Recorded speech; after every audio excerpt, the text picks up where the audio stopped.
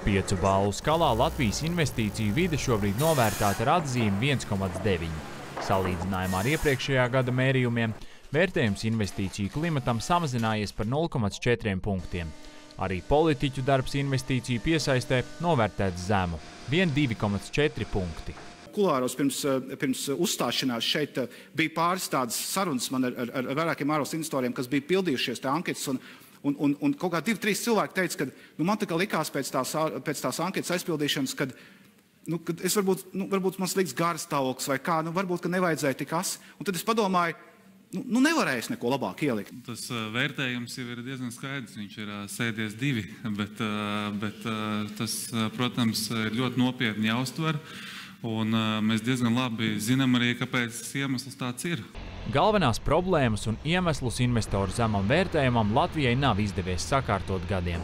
Tie ir piemēram darba spēka nepieejamība, zema izglītības kvalitāte un investīciju piesaistes mehānismu trūkums.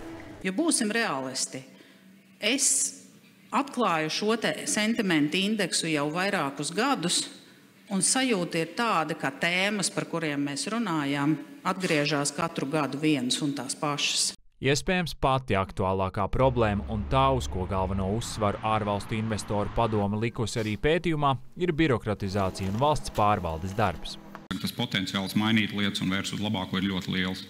Mēs faktiski no revīzijas uz revīziju tādu potenciālu redzam. Pieminēšu vienu sīku piemēru, burtiski nesen. Noslēdzām revīziju par tādu sīku jautājumu kā administratīvo naudas sodu izpildi. Ar to mūsu valstī nodarbojas vairāk kā 1500 cilvēki dažādās intensitātes pakāpēs. Mēs aprēķinājām, ka pilnīgi pietiktu ar 30.